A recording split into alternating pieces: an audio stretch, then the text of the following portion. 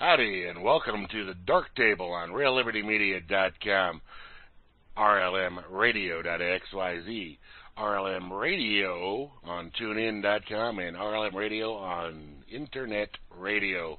Uh, we're broadcasting live on FreedomsNetwork.com and RealLibertyMedia.com website.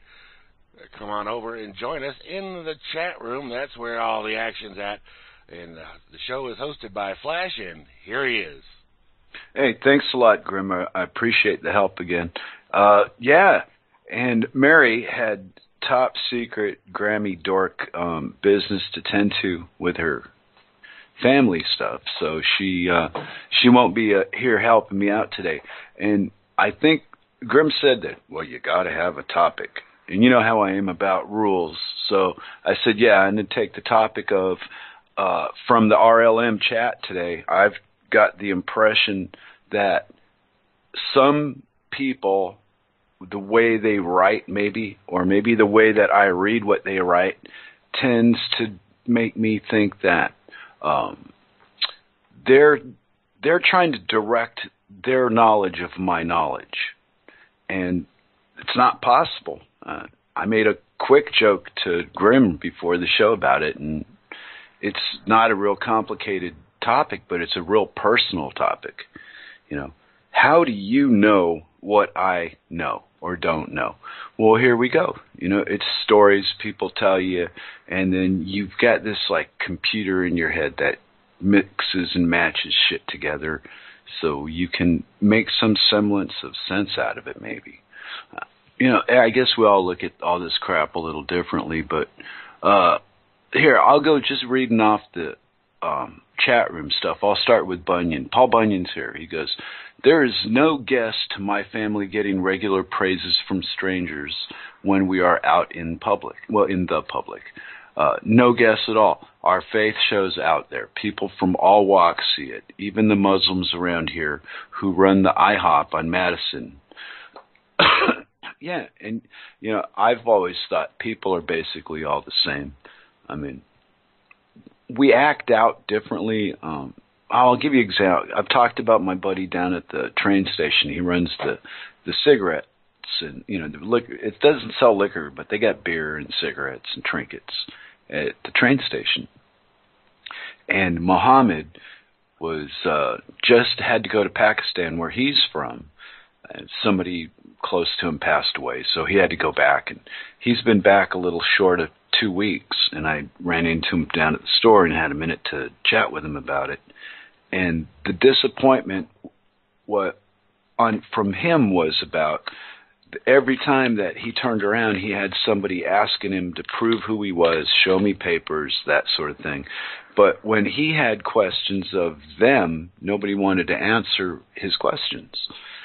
So I I don't think it's America or England or Denmark or Russia or China. I think it's um, the way we interpret the shit that we um, physically go through. And some people maybe take it a little further than it needs to go. You know, uh,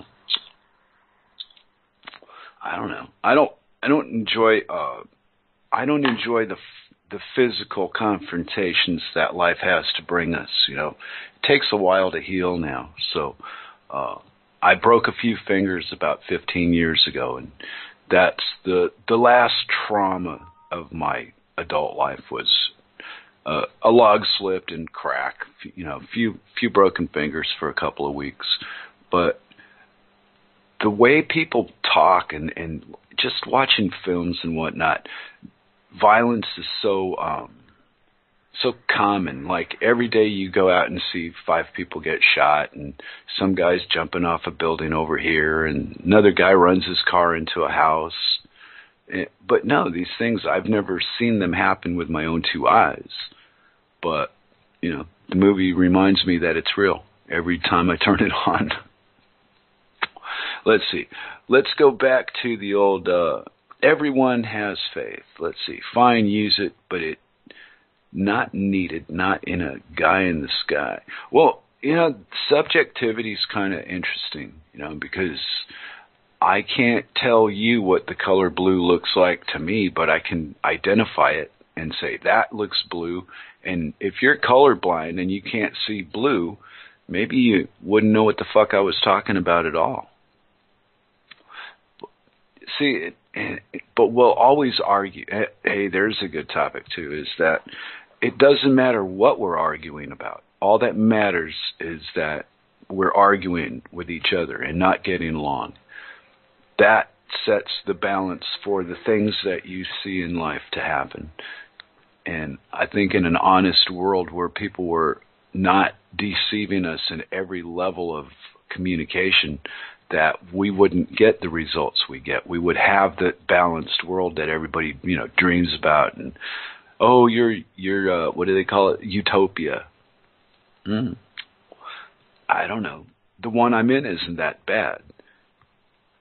But even without speaking the language, I do recognize um, the the stru- the structure of society and, and how it it uh, how it it comes through in people. That's the way I'm tr- trying to explain it.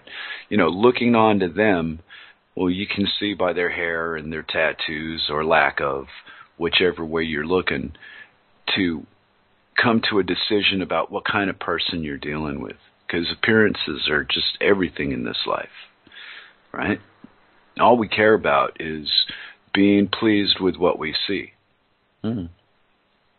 At least that's the way I look at it. You know, everybody else has got a bunch of other reasons, but you know, I think I just want to be a happy fucking guy sitting, you know, spending the the last part of my life um not having to um to fight so hard and all that shit and, and run so fast and do so much and it's time for me to slow down and there's still a world going on. They shot up um, Freetown the other day, and uh, I was telling Cirque that there's more to this than they're telling us. This is too it's too perfect. They got a lot of American investment, and they want that war on drugs coming. Well, what Cirque told me, what the Danish people ended up doing is now they want to push for it to be um, legalized, not decriminalized, but hell, you know, the government's got to get their cut one way or the other. So they're going to take the black market away, I think, and uh, they're going to put give it state control, and Freetown's done. So, you know, one more step towards that click on the door before you go to bed at night. Yeah. I'd like to think that um, that I'm free. I don't know. Maybe not. I I don't feel like I could just get up and leave and go to Scotland at four in the morning if the whim come, but that's because I take the being with Cirque seriously. And it, see, I mean, all these laws and regulations and people telling you what to do and how to live and what is right and what is wrong, it's not to get us to identify these things. It's to keep us in a constant state of fucking argument and disagreement and my side's shinier than your side and you blah blah blah blah blah compete and you know one guy stands above the rest as the best whoop-de fucking dip-de I think there's more to life than um, scratching and clawing but that's what we're good at you know? I mean, even in like say artwork, I would take a perfectly good piece of, of uh, glass and take an etching tool and just mar the fuck out of that piece of glass. I mean, scratches and the, as you scratch, you, your design comes out or your picture comes out a little bit more, and, and as time goes on, you got something, but it's it's still a destructive act in a way to me, and I really like it. I mean, it's not like whoa Wish I didn't do that, but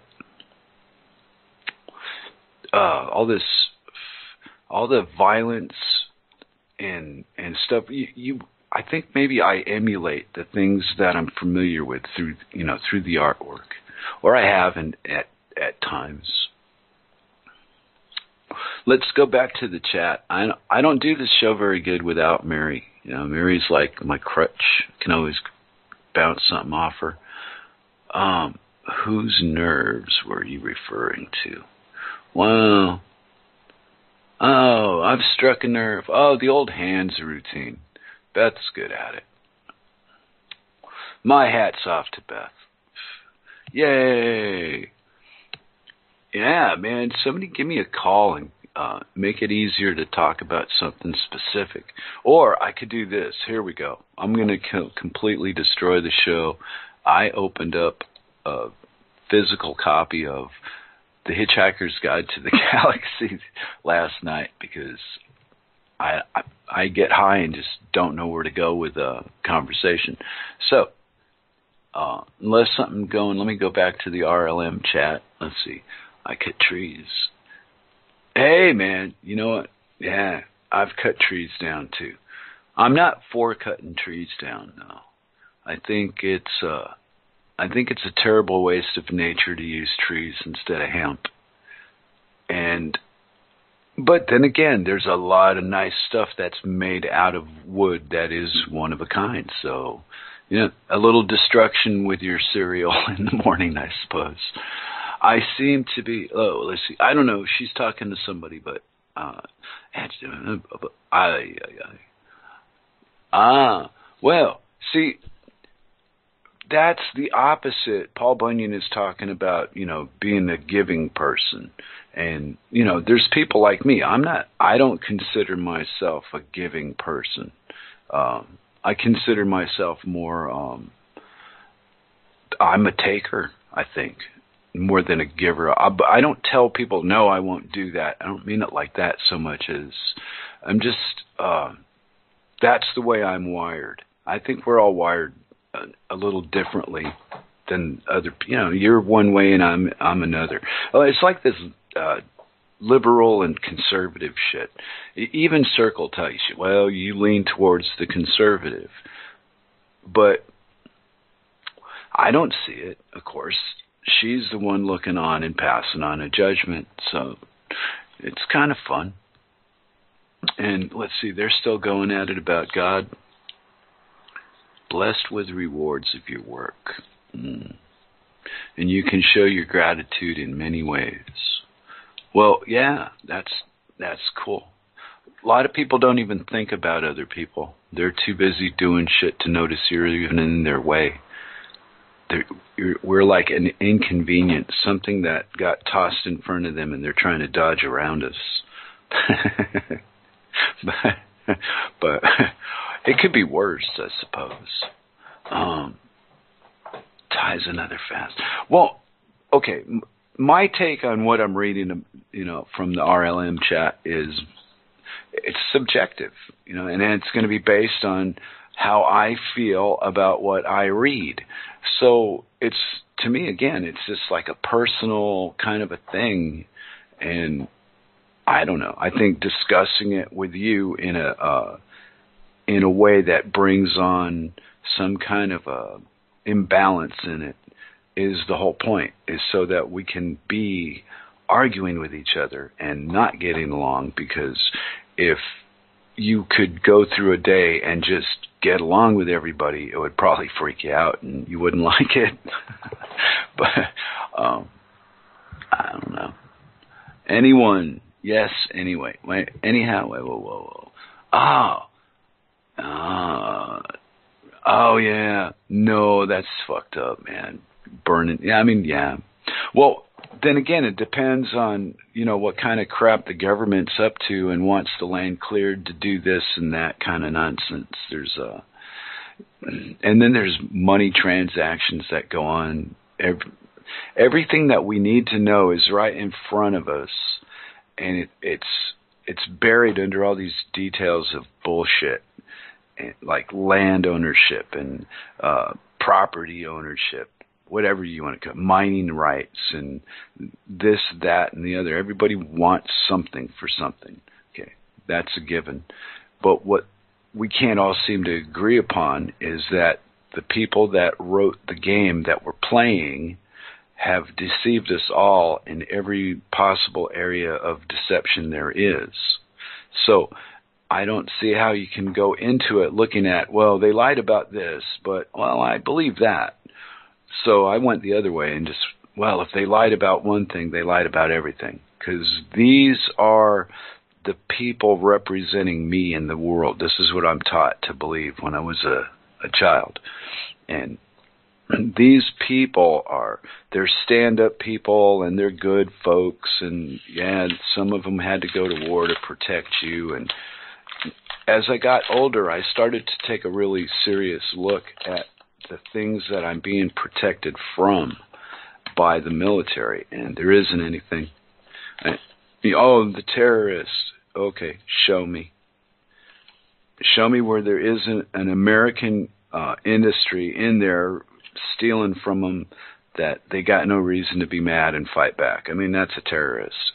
And the government, the U.S. government, the English government, the Danish government, all of them, fucking Russians, Venezuela, all of them.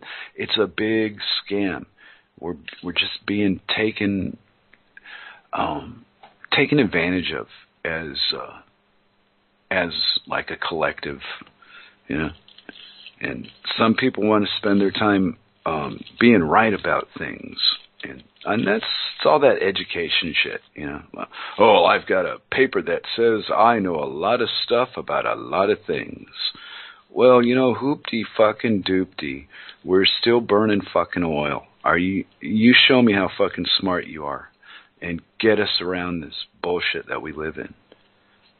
You know, anything that's good for us we're not uh, legally it's it's not attainable, and it starts with hemp. And then the things that are attainable, like an inoculation, so that let me see if I understand this right. But they say that if you don't inoculate your kid, then your kid will get the kids that are inoculated sick, and that's their uh, the stand for their argument. And wow, either I'm just losing it at my age now and I'm not making sense of what's going on in, around me anymore. Maybe I'm losing the ability to, you know, to read what's really there. I'm making up my own stories. what's wrong with burning oil? Well, Walter, hey, why don't you give me a call and talk? Let's talk what's wrong with burning oil. There's plenty fucking wrong with burning oil. It's it's barbaric we have technology that we had technology when they thought of burning the fucking oil that was superior to burning the oil. But what they did was they spent uh, a uh, hundred years, eh, eighty years, telling people it was the worst thing in the world for them. When all along the truth, well, truth came out finally, but they're trying to say, well, recent studies indicate. No, they just won't admit that they've been lying and they got a lot of people in prison making them a lot of money. They privatized the fucking prisons. Wow. Now they make they they make like Kevlar um baby covers for daycare centers and shit like that. You know, swimwear. Seen it on a TV show too. They got this. Wow, this is entertainment now. Is you have a a, a women's prison, and all the horseshit that goes along with it. So it makes it so common and you know matter of factly that it doesn't bother anybody that there are women living in prisons for you know stealing a little bit of money or being married to the wrong guy and shooting him or whatever the fuck it was. And it's I in my whole life I cannot see all these things happening that happen in on you know television, but you read about it in the newspapers. You know Charlie Manson and who else? Who um, who's Cirque's favorite? That Jeffrey Dahmer guy. Just Cirque gets all excitable about that one for some reason, and I look at a lot of this stuff and wonder. It seems so made up. You know, I, maybe it never even happened, but I wasn't where you know where it was happening. I just hear the stories or read a book or whatever.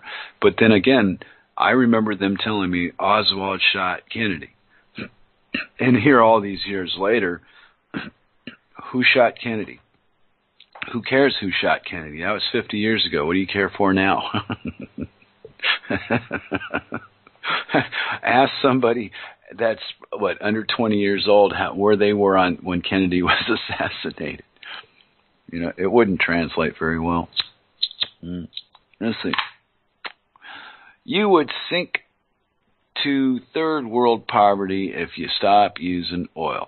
Well, exactly. You can't make the transition in uh, less than say six months, and it would have to be a a huge attempt by a, a large group of people to make it happen. But you could replace it with hemp hemp oils and hemp materials and hemp machinery, and it takes about four months to grow a crop to maturity. And then at that point, whatever you're going to make out of it, so you would have four months to put the machinery together. I mean, it, see, all this shit's just a matter of greed because a few people want to own the color blue, and as a you know, as a group, we we all just go, yeah, I want to be a billionaire. That sounds cool. Wow. Okay. But, you know, that's what you see. If you watch enough TV or movies or whatever the fuck's out there, this YouTube stuff, you know, it all boils back down to the same thing. Somebody is telling you what to think about something.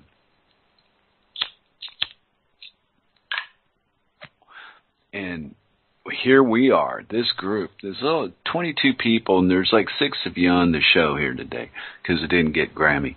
But uh, there's that many people that all think for themselves, but they express it in different ways about the same shit. And it, see, it's all subjective. It's how I read it.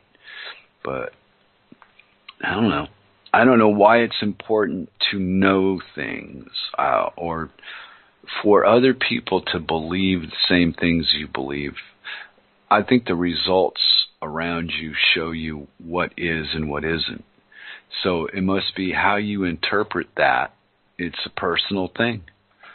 Cannot I could not explain my interpretations to somebody else, but I understand what I think because I'm the one doing it. So, oh yeah, documentaries. Yeah, it, you know, all that. It's not about the history. It's about how over time the history doesn't have a meaning anymore. It's just something you tell somebody that happened 50 years ago, and they could give two fucks one way or the other what happened 50 years ago because they got a big thing going on today. mm. Yeah, I agree with the that Bunyan is the uh yeah, I think the Bush family had something to do with it or whoever they're connected to, but it, the whole thing's so uh, when you look back and see what there was physical proof of photography and stories and where people were on that particular day. It's like Giuliani not going to Building 7. Yeah, right. The whole thing was too perfect and all the wrong people got got away with what they got away with. Let's see. Lucky CIA people. Oh. Uh, I thought the CIA can't touch you on American soil. They could come get me, but they can't do it if I was in North Carolina or Florida. Wonder how true that is. I don't know. Cops just point guns at you and put handcuffs on your hands. So what are you going to do? Hey, show me proof. They're already taking you to somewhere, so it's kind of pointless. And that's see, there's that part of what the flight, fight or flight. I've never been at because the few times I got arrested, I didn't fight it. I didn't see any reason to make it worse. But then again, you know, never any big deal, you know, nothing serious enough to lose any sleep over. So it's easier to say that I guess when you when you've had it easy compared to the guys that have had it really rough. Mm, you know, because I was always the smallest. That really played out well for me in my life. uh, there was a lot of protections from other people because hey, don't pick on the small guy. and then there was other times where it was, oh boy, here he comes. Mm. Here, let me let me read back from the the chat. I'm not saying what we each think is wrong or bad, just on the topic that was being chatted on. Religion, God as man presented it, is not now knowable with yes or no, nothing more. Well, I disagree with her on that. I think it's all a personal matter, and if I believe it, I don't care if you believe it or not. It's got nothing to do with me. So I either wouldn't voice my opinion on the subject in the first place and just keep it to myself, or be honest and say I'm not really sure about the whole thing, and from what I what I see, what I, understand, nah, I don't think it matters. Think it's personal, and guys spend way too much time arguing about shit that has no conclusion than you do fixing things that are broken. Hmm. Oh yeah, the sure he. How coincidental, you know, that we can look back and and see that in the '60s there was a, a silver certificate printed by Kennedy when he got assassinated. About what six months? Oh, it was in like June of '63 that the dollars were printed, and now they're like collectibles or something if you can find one. But Wow. And then Nixon, Jesus Christ, what he did in the 70s was will never recover. You know, America has been done for so long, and and you you guys are just watching it burn now. It's like snap, crackling, popping. Yeah, I think I just saw a thing about um, riots in Wisconsin, and I don't know. I don't watch the news or anything. Yeah, it's a chat room, and you're chatting, and yeah, but see, when you always have to know something, that's I don't know. That's kind of putting me in a. I uh, I wouldn't want to be there. Oh, you have to know. I don't know half the shit I say. I'm just guessing at. They say the world is round. Okay, maybe it is. You know, gravity is real, so I'm sitting in this chair. Okay, I don't know. What if they're wrong? Or what if they lied about that the same way that as they lie about they put poisons in the uh, in an as an ingredient into uh, an inoculation that they're going to put into a human being, and this is okay with people. I do not fucking get it. Um, then what? Mary? Wow, she she was really upset about that kid that got shot you know, a lot of negative. Freetown got shot up. Now I didn't see it. I don't. I'm waiting for video. I want to see it with my own eyes or talk to somebody that I know that's been there recently. But no, I'm gonna just. I'm no. I'm I. I think I've came here to um, where I'm at in, in this country and live the way I do because I'm just tired of all that drama. And it not even the reality of the drama, but the, just the hearing of the drama all the time. It it really does drag me down, and it's like fuck, man. Is the first thing in the morning. If I turn on the computer, I'm starting to turn it on and play games or something instead of checking to see what happened, because it, every morning is almost worse than the morning before. You know, and then whoa, then you get to the POTUS. Holy shit, man and it doesn't matter. I know we play this game all the time, but st- but the idea that the public could be satisfied at all with the two choices that they have, you know, you would think that the public would say, "No, get those lion thieves the fuck out of there," and bring us two people that you know would do a decent job. But the politicians seem to actually represent the public because everybody's going to vote for uh, well, thirty-one percent are going to vote for Hillary or Donald, and wow, where's everybody else at? So when you tell people voting is a big scam, they don't they don't seem to understand it the way it was really designed. They understand the way the media and the schools bully you into believing it works when it doesn't work that way at all. Mm.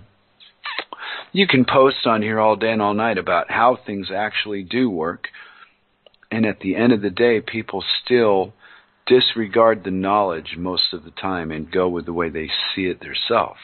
And that's what we that's what we do. You know? And then how do you really justify um, feeling good or bad about an opinion? I mean, crying out loud.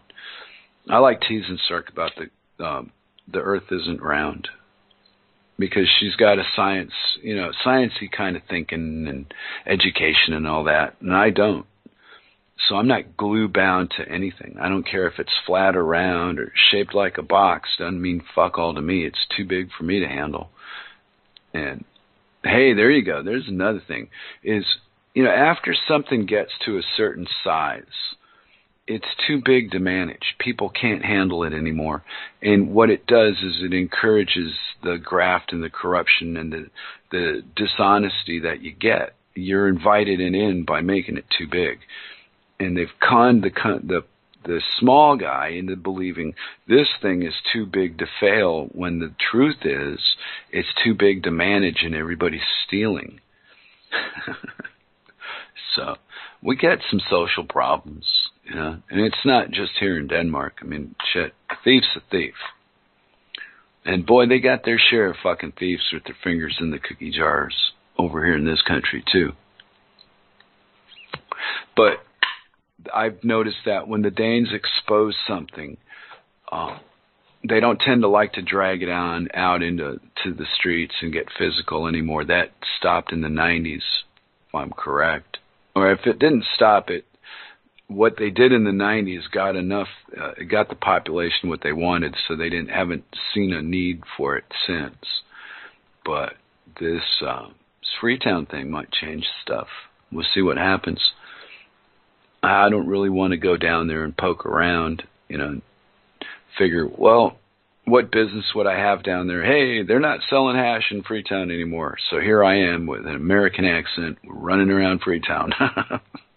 I mean, as an American, I'm looking at that as a trap, you know, just so they can click a picture and keep track of who's in and out and why. I don't know. Maybe I spent too much time watching movies. There may be a good reason for my insanity. Red buds and mulberries are very similar. The leaves are the biggest difference I see. Wow. Yeah, see, and that kind of makes my point is how you see what you see and I see what I see and we can look at exactly the same fucking thing and on one topic you'll see a different thing than I will, and on another we'll see the exact same thing. It's subjective to the person doing it. it. Doesn't involve us. When it's you, it's you, and when it's me, it's me. And I don't know. People say I'm selfish, or maybe that could be a part of it. You know, is that if I don't take care of myself, well, then what what good am I to those I'm around if I can't be involved doing things? I got to do stuff. That was the other part of oh yeah when we were going on about um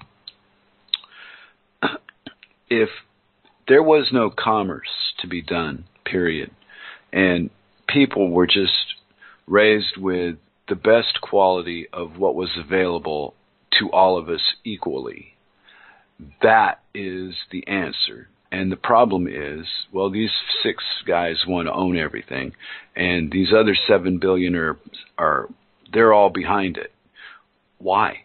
It, it's an outdated concept. Well, to to me, to you guys, oh, God loves you because you're all playing it and you're all, you know, going to church and going to school and going to work and doing all the things that you're told to do so that you can have all the shit you have. And I think that whole concept is a big scam. Know, like that Bill of Rights. Here, you got a Bill of Rights, blah, blah, blah. And these are the things that we're going to protect you, right? And then as you grow up, you watch them say, well, we were only joking. We're going to, we're going to trick you into giving these rights back to us. And it's going to look like it was your idea. and they pulled it off too. Nine eleven was brilliant, and uh, the truth of it, you don't even need the truth of it. The truth of it is just more misdirection to stop you from thinking about that your own government was so cold it could do that to its own people and blame it on a, a third party like it didn't have it, you know, like it was a big surprise. And no, and hindsight, you know, being 2020, 50 years from now, people are going to openly talk about how it happened. But see, for the following, what, we got another 20, 30 years to go, this bullshit to go through where they keep pounding the old lie and then the new kid comes along and by the time he doesn't learn all that crap. So by the time they're 20 it does, it's not even relevant. Some fact in a history book nobody talks about that anymore and it seems you know with the help of the military in the US they're going to bomb all the reality out of life. You know anything that was an artifact they're going to just destroy it. It's rubble now. You can you better take some pictures because kiss this fucker goodbye. And they seem to be purposely destroying um, history. I don't understand it. I mean what what was the point of how not even what was the point of doing it but how do they get people to go along and come forward and, and behave as though it was their idea and the government is supporting them and it's amazing. It's a big fuck. It's a mind fuck. But we all like to be fucked, I suppose. And here we are. Let's see. Let's go back to the uh, RLM and see who wants to argue with me. Oh, 911 was not brilliant. Oh, really? Are you fucking serious? How how do you say that bringing down three buildings in one day and blaming it on an imaginary victim or an imaginary entity that had absolutely nothing to do with it and misdirect all that information and point at other people to take the attention off the people that really did it. And uh, I thought Silverstein insuring it six weeks before it got hit was, I mean, brilliant. That was the luck of the Jew. You don't get no better than that. How do you not consider that brilliant? I didn't say it was good. Didn't it took genius. I mean, it took some freaking thinking and calculating and sacrificing from, you know, from people to to actually do what they did. And it was known thing in New York that uh, the twin towers were built with asbestos, and they were a problem. But there was no financial way to take them apart, dis, dis, uh, disassemble those whole buildings. It would have been never would have happened. So what happened seemed to be a well thought out plan to me, because coincidence doesn't seem to work that way for anybody else you know, maybe Larry Silverstein, but no, I'm not convinced. And it, it's a shame, but bankers, they don't seem to care who you are. But they got all the people that live on the planet arguing or fighting amongst themselves at some level. I mean, if it's not verbal, then it is, you know, physical. And if it's not physical, the information that you're receiving most of the time is negative and this bad thing happened and this terrible thing happened and it after a while that's pretty much the end result of what you know what we're getting now it's well, not um, hey, hey, save me. Yeah, well, I just wanted to chime in here on the brilliance of 9/11. Um, oh yeah, I think it's brilliant. It yeah, was a no, brilliant plan. It, it, well, uh, the, the the the actual taking down of the buildings. Um, Horrid. Yeah. Uh, just yeah, but the the the way it was done using what I do believe were remote controlled airplanes. Uh, I, I don't think there was uh, some hijacker flying those planes in uh, to, to those two buildings.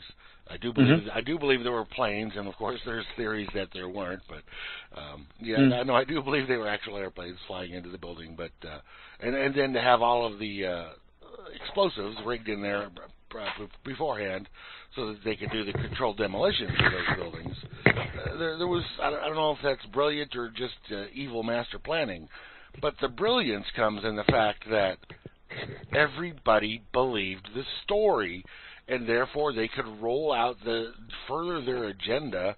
Uh, to clamp down and tyrannize, tyrannize, uh, enforce tyranny Mm. upon upon Yeah. the world, not just upon uh, the people of New York or the people of the United States, but upon the entire world. Uh, and that's continuing on to this day, and, and they keep using it over and over again. And uh, of course, they started the non-ending, forever war on terror, uh, Mhm. which is, is, is just absolute insanity. But the war on terror comes down to okay, we may go and bomb a bunch of countries and kill a bunch of people because we want to take their shit, but also that part of that war on terror is we're going to come after you because you don't think the way that we want you to think. So that, Exactly, That's that's yeah. where the brilliance of uh, September 11th, 2001, uh, put in effect the Patriot Act, which obviously Yes. was written wa- was written Yeah. well before September 11th ever happened. Uh, and, and, Yeah. and, and, and I mean that, that that document was huge and it was planned out very meticulously, and it was ready to be rolled out. And they waited what two three months after the uh, after 9/11 to, to push that out onto the people. Yeah, I think it was November. Yeah, two I months. I could look it up. Yeah, so so, want. so basically two months, and if you look at that document, that thing has been written for a decade. Yeah, yeah. this was not in in legalese on top of it. It's not written in English. right.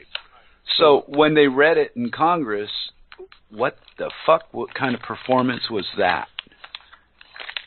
Well, Do you think the average guy knew that he was? They were speed reading legalese, which doesn't mean what you're hearing in English. I don't think they even knew that at, well, at the even time. even reading it, just reading that, or any any of the other bills that go through Congress this these days, Uh, Uh, you can't just read it and, and think you know what's going on there because they reference thousands of other documents. and so, in order to read it and actually understand what's going on in there, you have to be able to pull up all those other documents at the same time. And those documents also reference additional documents. I mean, it, it's so fucking convoluted that there's just no way of actually getting to uh, the point of what they're trying to do, other than the fact that you know what it comes down to in the end is they're going to screw you. yeah, yeah. And that, that's really where it comes down. So that to me is the brilliance of Mm.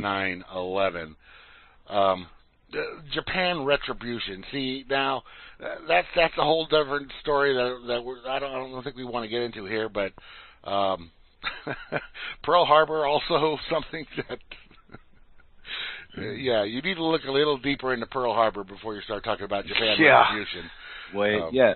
Well, there you go. Because there's the truth that we're told, and then there's what really happened. Absolutely. And, but that okay, and that's why I just go with everything that I've been told, indoctrinated with. That was all a bunch of crap. Instead of just this little bit and that little bit.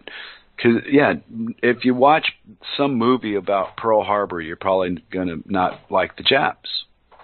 But if you know the truth about Pearl Harbor, you'll know it wasn't the Japs that did anything more than was expected.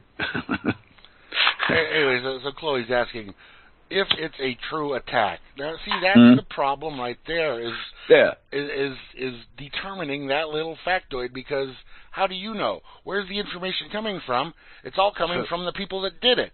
So Right. Yeah, exactly. So Yeah. that that that that's where the problem begins. I, I, do believe. And- Uh, And as long as we're disagreeing and fighting about Uh, shit, hug you back, that- Chloe. But that's what I believe that the whole point of these these things are is so that we will always be in a disharmony. Yeah. Because even though we all agree how 9/11 happened, wh- however that makes you feel is how you react to it. And I don't really think the out the words that you're hearing have a lot to do with how it makes you feel. I think it just it's designed to bring a response out of us that's not good. We're supposed to. It's like a, a wavelength. I believe in the wavelengths and all that, and maybe if you don't, you should check into it. But uh, they don't physically cripple you, but they do control the mood that you're in or you'll put yourself i okay let me use me i put myself into a, a mental state of choice if i want to be in a good mood there's things i can do to have a good time with and if i want to be in a bad mood i can read about how brilliant donald trump is that'll usually lead oh, there you are.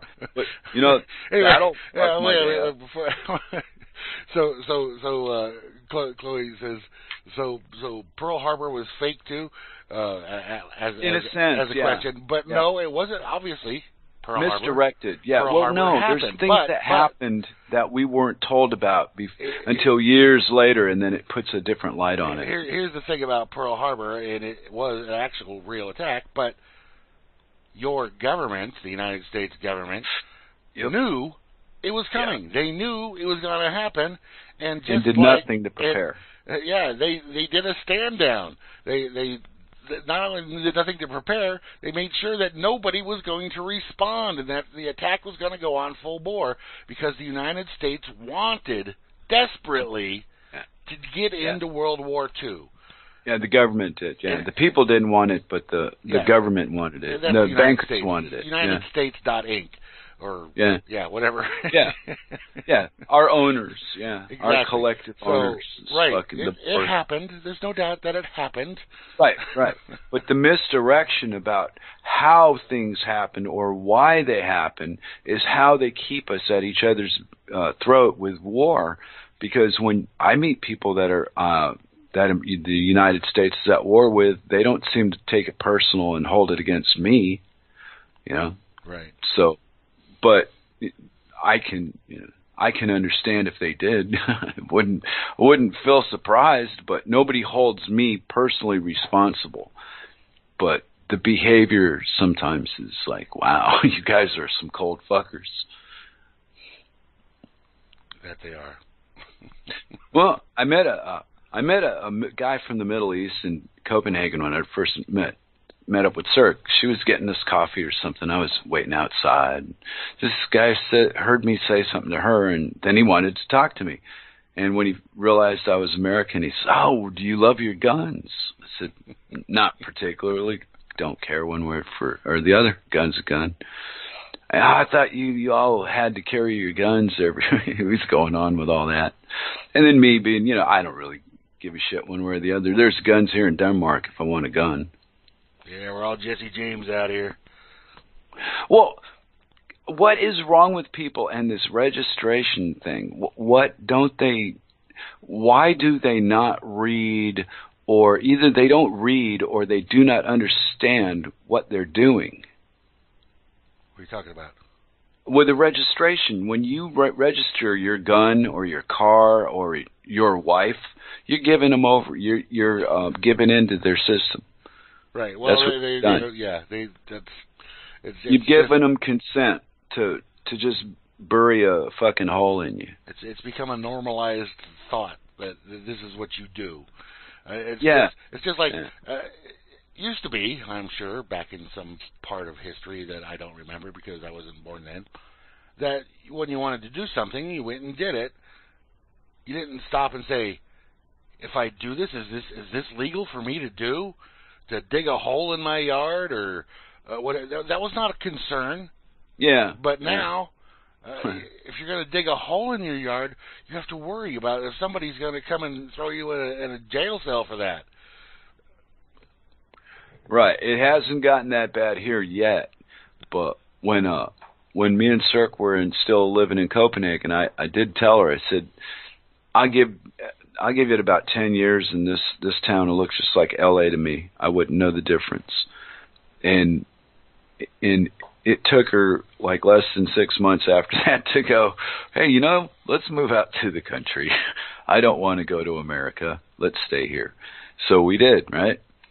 And uh as as the two years and change have gone by, I I see all the uh, all the changes that have happened from afar instead of being in it, and it's a different perspective completely. Right. Well, you know, you live in that socialist utopia over there, so. Well, actually, not. No, it's not a utopia. It's just I think they uh their problems they keep their problems small. You know, like what's the best cracker to eat at five o'clock in the afternoon? That you know they keep their their public things are very um innocent. It's not like a it's not like Vegas or anything over here. And it's real just um very reserved, private. So it's like Henry Weinhard. Well, I've never lived in America anywhere that this uh would remind me of. I mean, I don't feel, oh boy, this place reminds me of Detroit. Nothing like that. You know. I'm constantly aware I'm in somebody else's backyard. Okay. But I don't know whether to call it the socialism thing. I don't know. They still do their they do their trading the same way we do. No, no. All, all governments are socialist. Yeah. All, all every government that's ever existed has been socialist to some degree. Right. Okay. Yeah. Well, when you go into defining the word and how it how it applies to this and that, I'm sure I don't disagree with any of that stuff. I just don't have enough knowledge about it to really voice an opinion. But the hands-on experience I have is that uh, I've lived in three socialist countries so far, and they all do their bartering on the same exact freaking way. But I think their uh, their banking uh, restrictions to the public are a lot harsher in in this country or these countries than in America. But America's catching up. So what what do you mean by banking restrictions? Like what you could do with money in a bank and sending money and how much you can send and opening accounts and you know handling money through a bank. There's a lot of American regulations that, you know, because I'm not a citizen here by any, you know, paperwork document. So when you start throwing all these legal things at stuff, it just makes it more fucked up than it already was in the first place. You know, but I think America's banking is getting caught up where you got to show this and have that, and you know, they're doing you a favor because you're, you know, you're not bringing them any profit. You're just one of the things they use to get to the profit. You are the profit. Well, uh, okay, but I'm not that twenty-five, you know, that two hundred fifty thousand dollar mortgage loan that they create out of thin air. That's not me. Right, but you might be a ten thousand dollar car loan. No, uh, uh-uh, uh never, never, never a bank loan in my whole life. Wouldn't do it. All right, all right. So, well, I, hmm, I know I was so unambitious. I disappointed a lot of people but um, circumstances in life would always take me into a situation where my help was uh, valuable enough to uh, to barter for a place to to live for ten years. right. So yeah, so buying a nah, buying never interested me. But a lot of people, yeah, well, see, it's all that uh, fractional reserve banking. Once I saw how that worked, how could you consider it borrowing money? How could you consider doing any of that shit? I don't understand because I wasn't indoctrinated into it. Well, at, at um, some point, you know, you look at things, you you figure out. Uh, what's going to benefit you the most, and, and if somehow uh, borrowing against your future earnings is yeah uh, going going to be to your uh, good side, then then you do it. Um, hmm. And and and if it winds up that uh, you don't have those future earnings, then you wind up pretty screwed. Or if uh, whatever it is you were planning on doing um, turns out to be uh, uh, like for example, when I when I bought my first house, um, I bought it at what turned out to be the bottom of the housing market.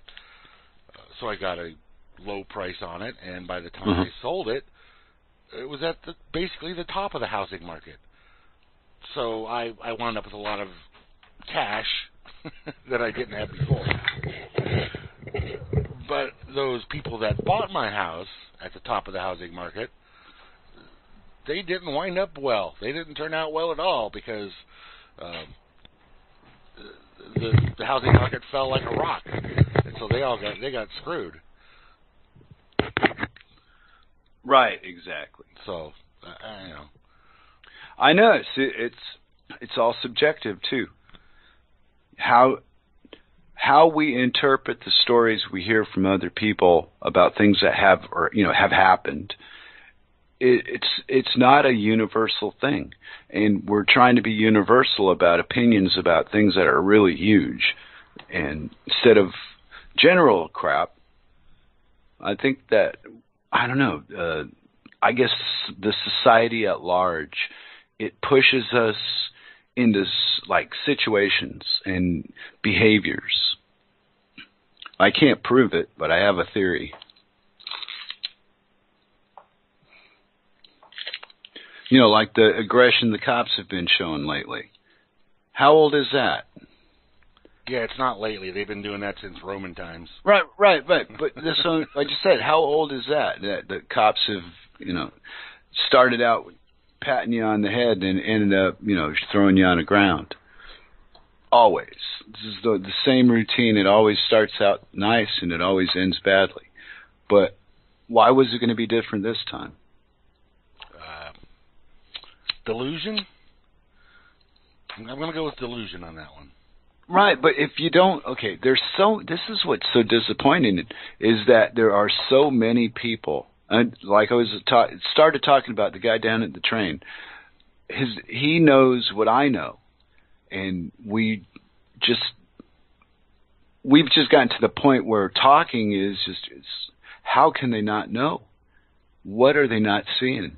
And that's the question we have left between the two of us, and we can't figure it out and a lot of it, I believe, is uh, the the um, the happiness level, or what would you call it? There's there's uh, there's not a lot of drive to to be more than they are. You know, there's not a lot of competition, and and the ones that do are very flashy, and the rest of us sit back you know, like the bike riders and uh well you wouldn't know, but I'm I'm telling you because I'm here and you're not. And I was brought into all this stuff, you know, from America, so and then Scotland and whatnot. So it was kind of, kind of a looking at at the same thing but from a different angle. You know, I don't think the Scots are all that much different than the Danes, but every but but they are outwardly but they're just people you know but they're that state hold on them is so it's it shines off them that they have it As as a as a country, as a mm-hmm. people, whatever, however you want to call them, yeah uh, they've, Well, it- they've had it's so small. but it's so small that there's only 6 million of them Right, but but but as a as a, as a- as a country, there they've had different experiences than what the Danes have had. So the Scots have you know Mhm. anger of, against some things and love for other things, whereas uh, the the Danes it's not the, those are just not the same things. So ah and it goes back see it's all about what you're what you're taught to believe you tend to believe yeah, yeah, yeah your environment that you were uh, you know brought up through.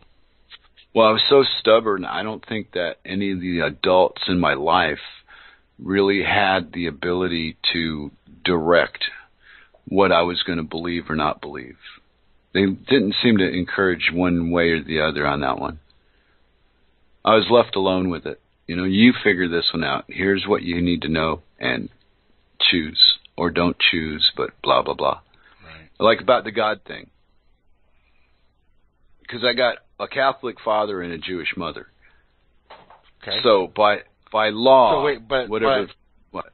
both of those, the Catholic and the Jew, both Mhm. believe in the same God. Right. I Uh, guess. uh, well, they do. Uh, I mean, that, that, one of them thinks that this other guy came along in the middle uh, and said, Mm-hmm. Yeah. "All right, I'm I'm the son of God, but you just treat me as if I was God." Um, so that's that's the, the only difference there, really. Uh, the the Jews are Old Testament, the and the Catholics, uh, various other Christians, are New Testament. Uh, so Right. you're both working with the same book, just uh, different Mhm. chapters. Well, neither of my parents actually carried the book. They weren't carrying the religion. They were carrying the the, the title of the religion. That's what the Torah is. That what you guys use? Uh, I don't know. That's what I mean. I I'm Jewish by because that's the way I was made. That's what they tell me. Yeah. I don't feel any Jew any, but you know, I don't. I don't feel like I've got that super Jew banking blood running coursing through my veins, and all you people should bow when I walk in the room or any of that. And at least if it's going to hit me, it ain't hit me yet. but I mean, the whole religion thing to me is just. I think it's personal. I don't think it's a joke. I don't think it's a con- not so much not a conversation piece, but that certain specifics are designed to inspire problems and that particular direction to go in and is it's in like in our nature sometime you know you can't even once you start you're there i'm not immune to anything that you know. I'm just another guy on the on the block grim. I can't do anything any better than anybody else can. Just me you know. Right. but that's not the way it reads on the internet but that to know me i mean people that physically know me uh, we're just friends you know hey there she is. The wife just came home. But uh. Yeah so uh, i think that where wherever you are that the way that you behave say here on the rlm is uh it can be it can it can be read as a representation of things that it's really not a representation of at all. You know, some people like to to fight. Some people do. Some And, people, yeah, yeah. But, but- uh, well, who I am on RLM or on the radio or in real life, mm-hmm. it's it's the same person. I don't Mhm. I don't change. yeah, I don't, yeah. I don't I don't have the, the the mindset to be able to uh, create different personalities. juggle juggle the personalities. Yeah, drink a couple of those 151 and prune juice, and uh, drink three of those, and then do a show. you better be doing it from the toilet. oh Lord. Anyway, I don't know. I what? Let's see. Get back to the. Have we inspired any paranoia yet? Nobody's. Nobody's taken high. Hey, Taco Dork. All right. Well, I'm Most- I'm, I'm, I'm okay. gonna I'm gonna go get some coffee, but I'll, I'll leave you with Hey, this thought I- before I before I come back. None What of would this that is, be? None of this is real. I know. I'll be back. I'm glad you. Hey, exactly. Ex- and what makes it real? See, that's where he didn't go, in my opinion. Is what makes things real is that I believe they are real. So therefore, they are. What do I care what you tell me? If I see a flaming yellow chicken and a purple dragon, and that's what I'm seeing, even if it ain't really there, maybe I believe it's there, then it's there. Yeah, who knows? But to argue about, oh, you can't possibly. Well, obviously, you've never heard of mushrooms. or maybe LSD. You could see some, or even that PCP from the uh, from the 80s. I think late 80s, 87, 88. There was some pretty weird shit out there, drug wise. And I'm not talking your Mary Jane or your hashish. No sirree. I'm talking about your manufactured slop by those fucking people at Big Pharma. those drug-addled pricks with their three-piece suits and their fancy shoes, and uh, the rest of it, it's just smokables. Maybe I don't know. We go a little too far with the liquor t- sometimes too, I suppose. But I kind of like it. Okay, here you go. No nation could preserve its freedom in the midst of continual warfare. James Madison. Well, Bunyan, I'm going to say something you're really not going to like. It's all an illusion anyway. It's all what you see it is. So, you know, whether America is at war with uh, Pakistan or Russia, as long as it's not Denmark, I'm really not uh, physically involved in it. Might be financially somehow. I can't get my uh, avocados or whatever it is because you know the shipping lanes have been interrupted by warfare. wow, we're in one fucked up world. In case you guys didn't notice that that thinking about war is just a common off the cuff thing now. Oh yeah, we we fight all the time. That's what we do. We're good at it. We have machines that make machines that kill people. So, and then, wow, this is getting kind of weird. Okay, anyway, as long as the war is in over there Istan, it's okay. Well, Taco, yeah, that's the whole point because you know when it's when it's you, me, not you, you, you, me, me, you. But when it's me, I don't want to fight with anybody. I don't even like to argue with Cirque. I just tell her, okay, you're right, and I go out and have a cigarette. Go on, be mad at me about whatever I said that you know wasn't right.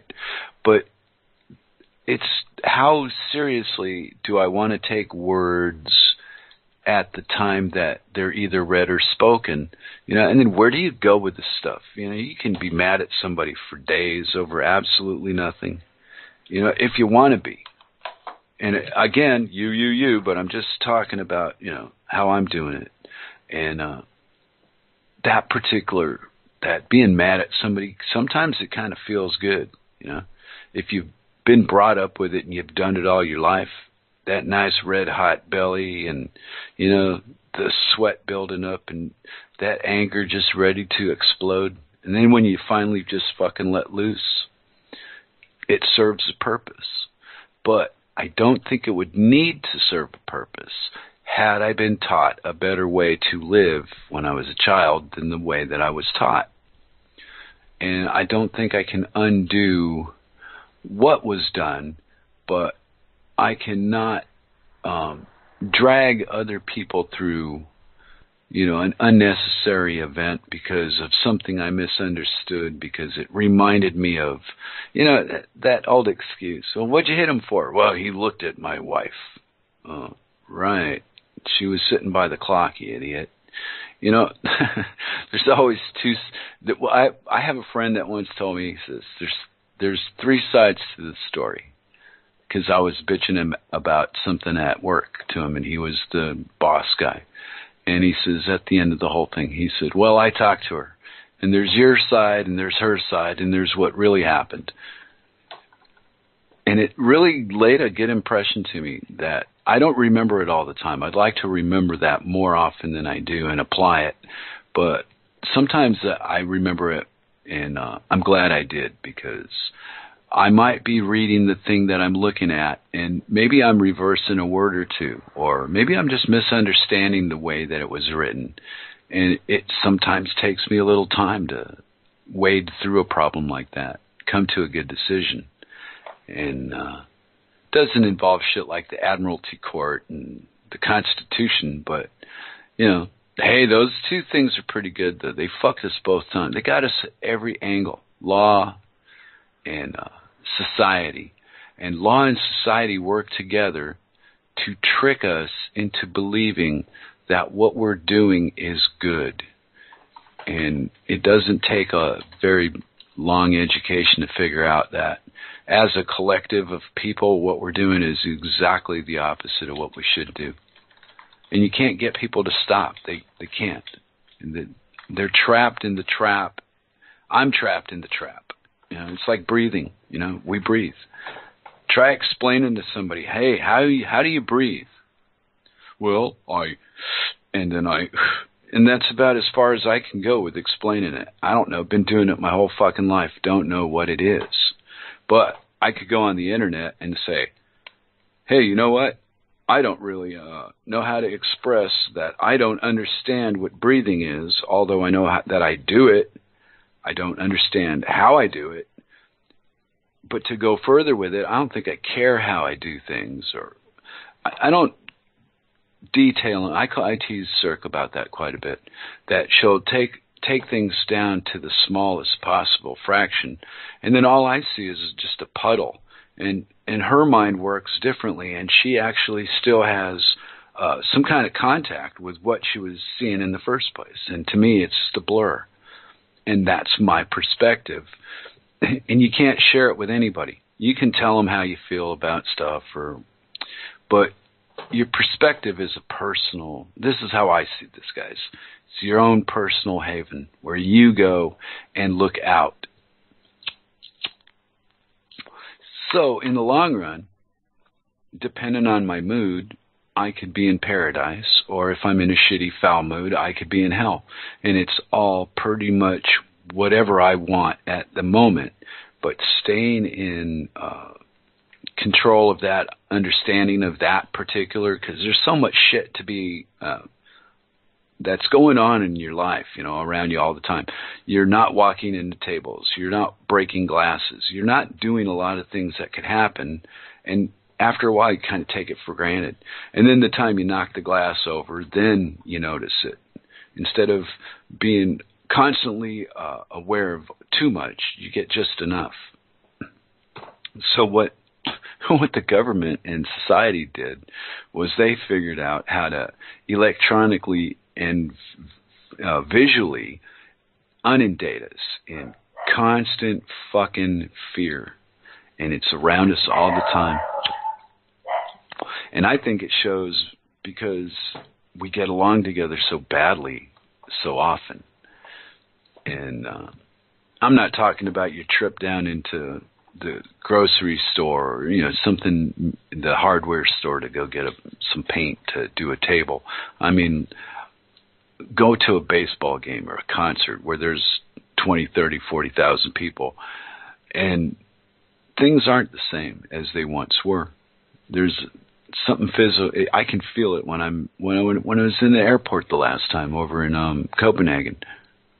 I felt a real relief when I got into a uh, cab and started just a slow drive and got out of that 600 miles an hour it, it's almost like it burns. I don't know. Maybe it's a, a, a, a it's, it's a physical way to explain a mental situation, but I was going so fast for so long, and then then you stop, and your body and your mind are almost not together for a bit. It's kind of like uh, they call it jet lag, I suppose, but it, I experienced it many, many times, and it's not something that I could ever get accustomed to. So where in my life do I get the idea that I can become accustomed to anything? It's a decision, apparently, that I can make for myself, right? And I don't know. Life is uh, life is going where it wants me to go to, and I live in this illusion that I make these grand decisions and choices, and I'm going to do this, and I'm going to go there, and it's uh, when when I look at my history, it was just taking a step forward. You know, sometimes the step would take me from London to San Francisco in a day, but that was the one step. And that's what I mean is these things that have happened have created whatever it is I think I am. And maybe I'm just as uh, I want other people to not be afraid. There you go. The packaging is scary. The inside is fine. But uh, society has thing about hair, and a man with long hair is it still stands out to this day. It's not a common thing. It's it's a uh, and wouldn't you say that? I wouldn't say it's common. My, the length of my hair. No. So and it's not uh an inner. It's a it's everywhere. Everywhere you go, we've all been groomed to see things, and some of us get um, more controlled about how we respond to what we see than others. That's what I think. Uh, advertising, for example, some people will look at an ad and be mesmerized. And I might look at the ad and I'll see the art that went in to make it and go, oh, great production, blah, blah, blah. But the, that go out and buy a can of Coke because, you know, the girl's got great nipples doesn't work on me. And I don't know. Uh, maybe it did at one point when I was younger, but I I don't. I'm so you know I'm so far beyond it now. I I can't remember. Maybe I maybe I don't even want to remember. And who'd want to remember that that they enjoyed something that could take rust off a bumper? uh, extract from Thomas Jefferson to Thomas Leiper, 12th of June, 1815. Quote. Wow. You know, there's another thing is quotes. Fuck, I got a quote for you. What if these fucking people that lie to us knock it off and quit lying? They know they're lying. And, and the sad part is we know they're lying, but yet they're still lying and things don't change. So, wow.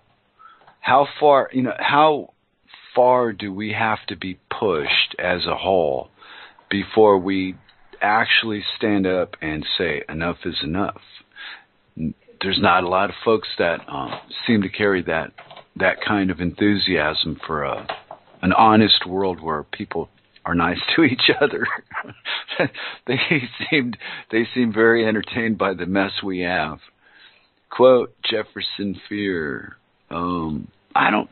Well, I don't know. I don't really have anything for or against except that the people that we trust are uh, the people that we're, we're taught we should trust. Let's use that as a way to explain it. Always end up being full of shit. And what they did was misdirection from something else they were really doing. So how can you trust any of them at anything? And that's what I mean by if we didn't have this petroleum shit, the, the oil is. They talk about banking being the bottom.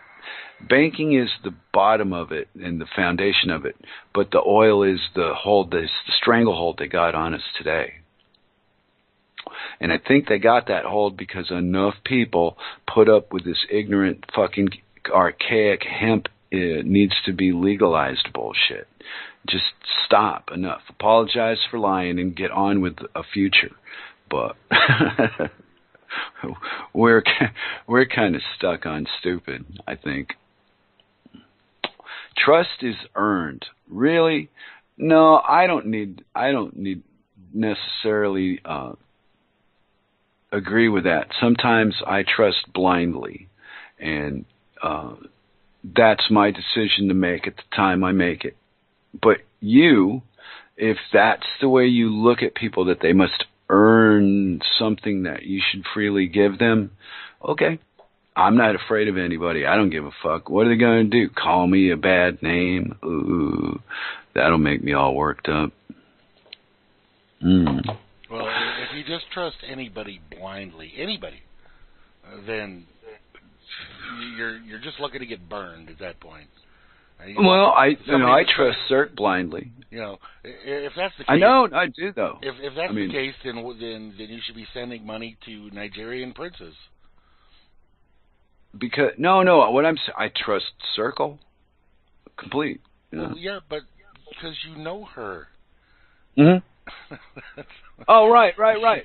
She but, she earned that trust. well, actually, no, she just didn't lie. Right, but there was no earning any trust. She just every time that she spoke, her words matched whatever I was going to physically see.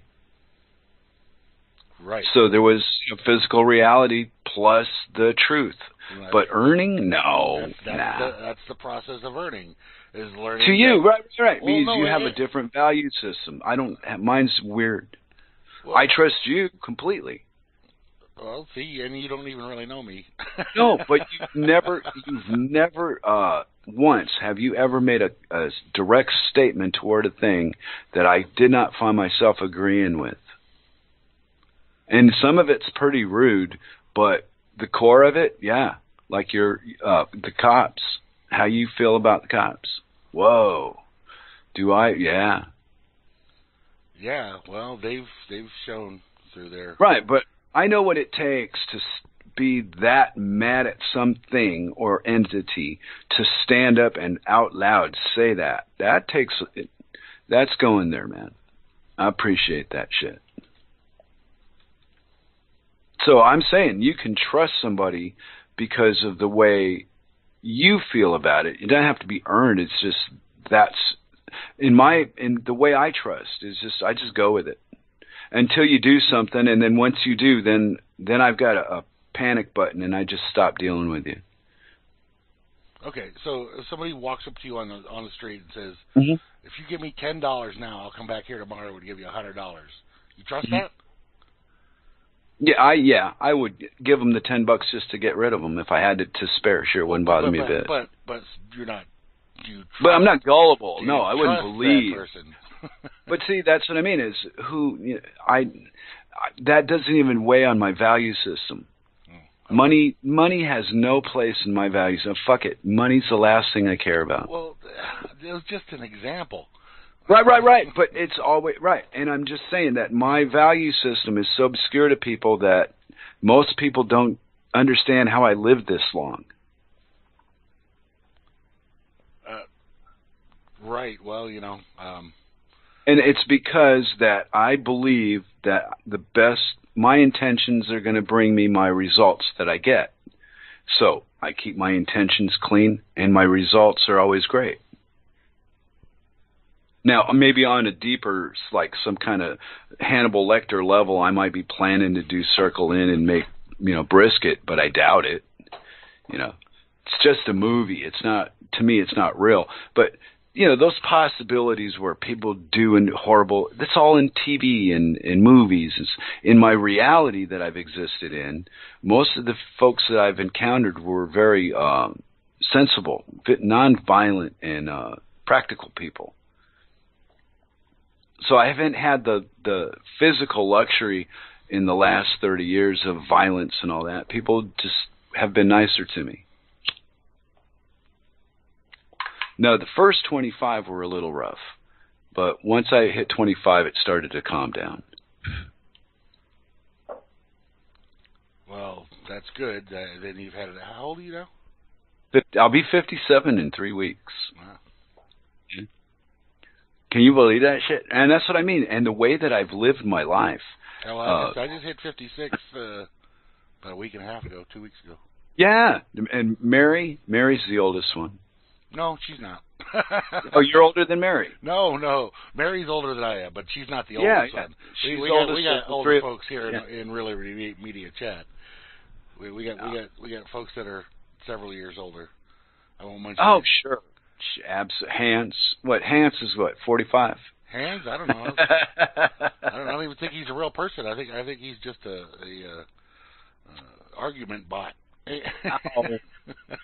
no, no, but we get folks in here that are, that are that are a good bit older. You know, I, I don't want to mention any names, but uh, they know who they are.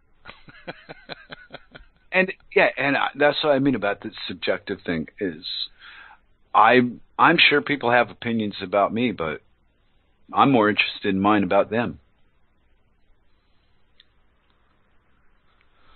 Uh, you, uh, you seem to be.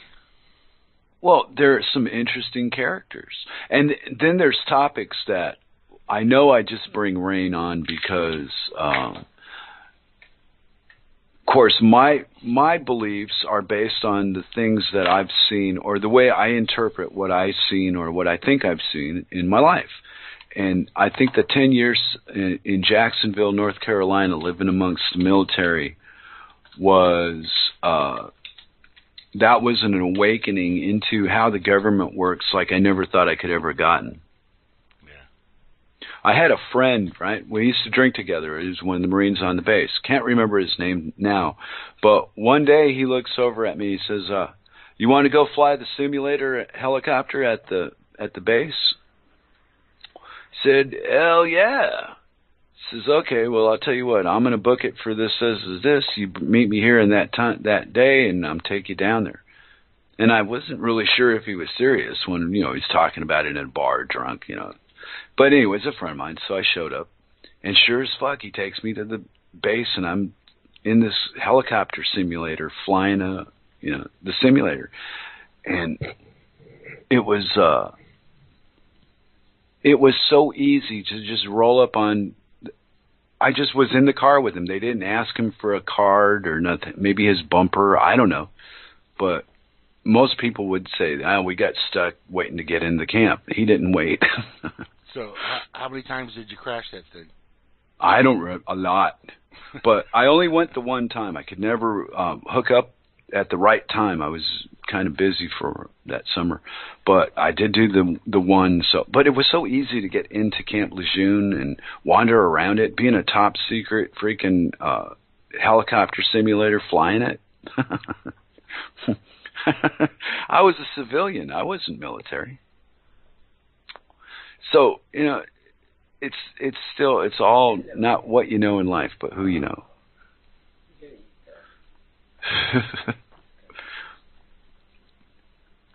okay, well, that was my opinion, and that was you know, me doing it. So, but it, it, things like that happen to all of us. You know, you, uh, if you get out and about, if you stay in one spot where you, you don't, nothing happens.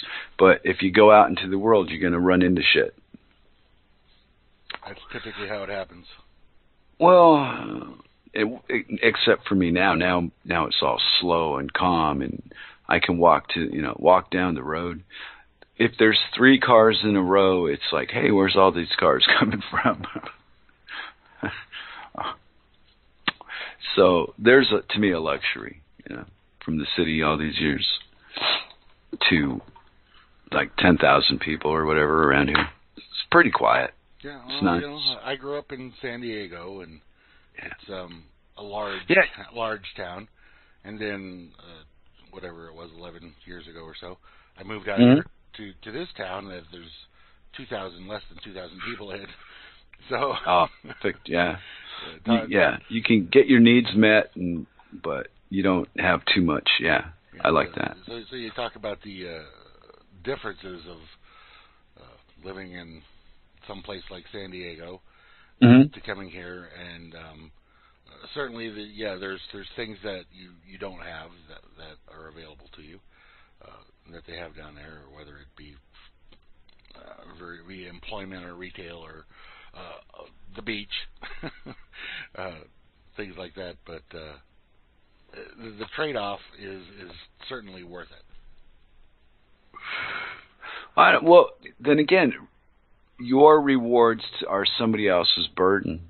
You know, my rewards are somebody else's burden. It's a strange world, and it's all this society and the the things it bashes into some people and it doesn't bash into others, and Well, if we just keep if if if uh, doing that, if it was going to be a burden upon a person from changing environments that drastically, they they wouldn't do it, not voluntarily.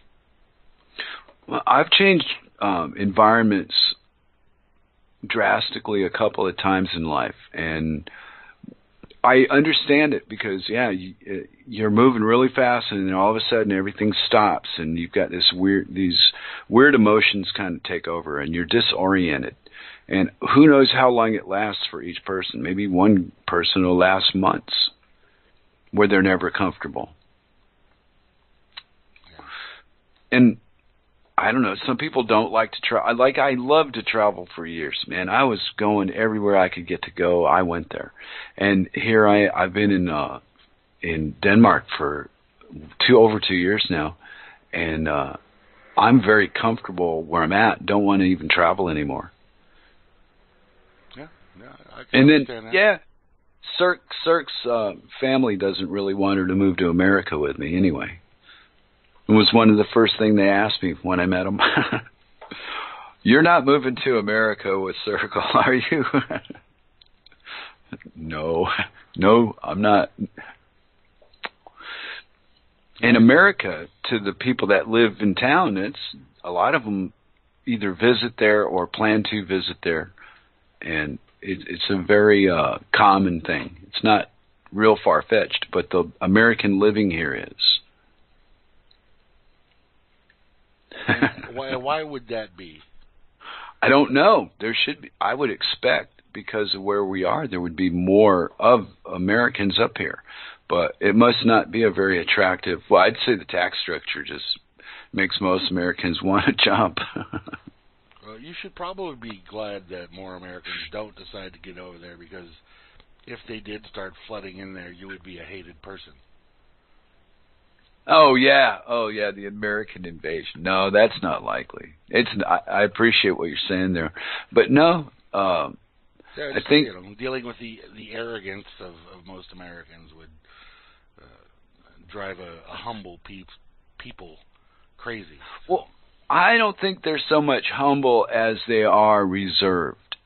You know, they got their limit. That's what I mean. Is in society here is uh, it's comfortable, but it's still got a strictness to it.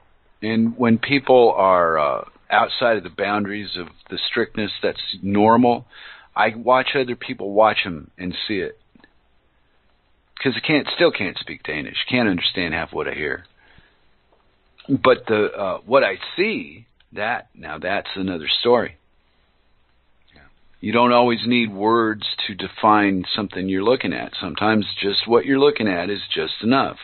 And then there's times like when we're on the internet and we're having a, a detailed, in-depth discussion about whether your structure of belief is as good as mine or not, by God.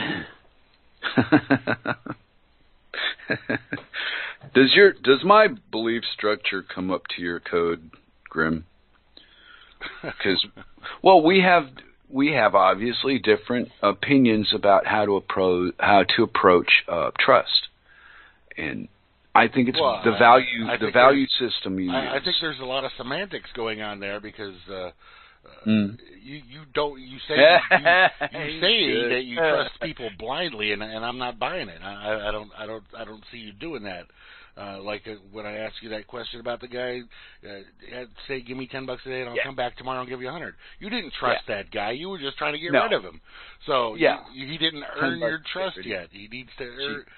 So, like I said, there's semantics going on there. Right, because what does trust have to do with ten dollars in the first place? Right? It's a, it, it's, it doesn't. Right. That was not the point value. of the. That was not the point of the question. No, no, no, no. But it's a good misdirection from the question based on eh, other. So that's what I mean is we all have had our value systems pounded into us some point or another. I play with mine like a word game now. I don't think I try to live up to it anymore. See, and you, and you, uh, the, the one difference there is, you said you give them ten bucks to get rid of them. I'd tell them to go fuck off. uh, yeah, see that that's the value thing. I don't money. Money's just a curse. It's it's a pain. When you have it, all you have is the luxury of trying to find ways of keeping it, and I didn't find that pleasurable. So I thought, well, trying find trying to find ways not to have it has been way more entertaining in my last 30 years than chasing it ever was. Right. And the people in my life are they are amazing. Uh, Kelly Kelly might not be a good example because she, you know she checked out on us, but she was a good person to know, and you know I've been uh, I've been very fortunate to to have friends like that through my life. A lot of them died though, you know. Who's Kelly? Uh, Kelly, remember the Kiwi, the blonde? I don't remember. Well, when I was in Scotland, um, she got on uh, World Truth for a short period, and uh, and the summer after me and Cirque got together, she hung herself. And and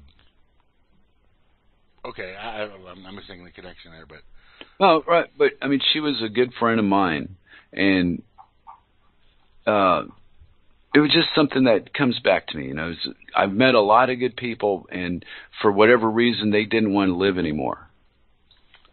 So do you, And do you, do you think I've into that. do you think that's directly attributable to them knowing you? No, that's that's just life. No, uh-uh.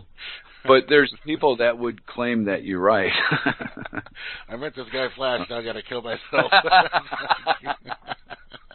no, I'm not that bad yet. No, actually, um, but the the few people that I've known that that did uh, check out were quite smart people, and uh, it, it's funny how your your own interpretation is so different from other people's. You know, because whatever she was going through or other people were going through, it, didn't stop them. Uh, didn't matter to them anymore. Whatever we still have, they they passed it up. They didn't want no part of it. But we've got it because we're on here, you know, every week or whatever. You well, you're on here a little bit more, but we're trying to tell people your your government's lying to you and the money's bullshit. You know, basic simple things, and it's um, it's a slow road. It is. I mean, you're, you're trying to break through a lifetime's worth of of programming, and you know, to to for somebody to realize, actually take in the fact that everything they've ever learned is wrong. yeah, I mean, Right. That's that's that's a big hurdle to overcome. So Especially being especially those that that weren't already rebellious of nature.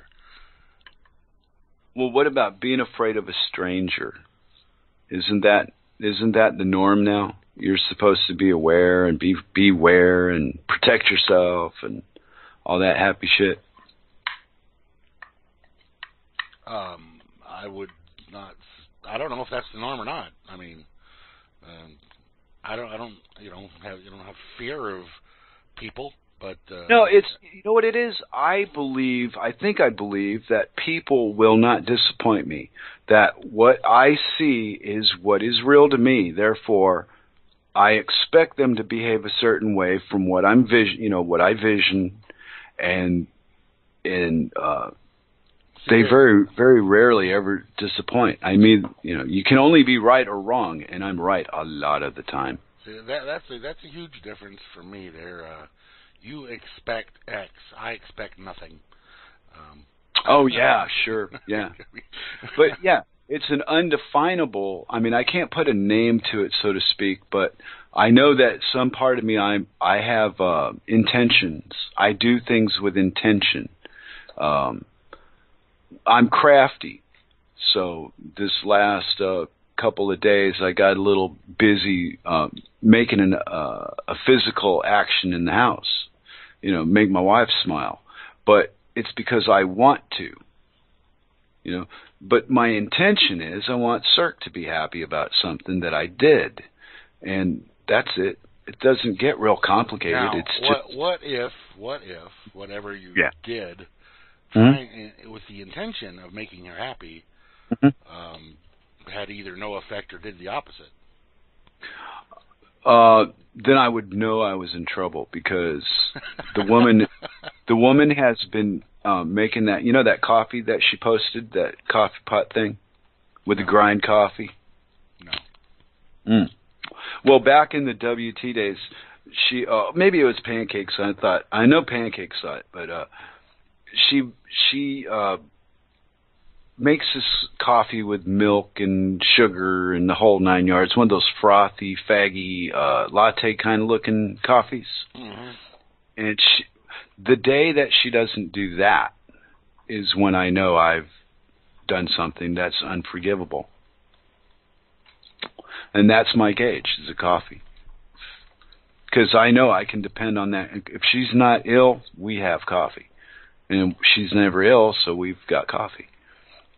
well, she might just be tired one day or not be in the mood to do it, and then you're gonna think that she's mad at you all of a sudden for some reason. And well, I I think I'm intelligent enough to keep a calm you know calm head and weigh out the situation before jumping to a conclusion.